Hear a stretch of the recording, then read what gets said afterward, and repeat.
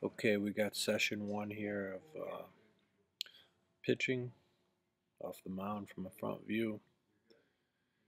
And we're going to slow it down here a minute and stop at our landing foot.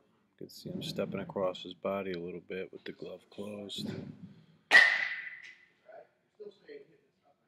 And we're going to come to one of his first flaws. You can see the head all turned off to the side, body way leaning off to the right. Followed with a improper arm circle. The arm doesn't get through the other side of the body.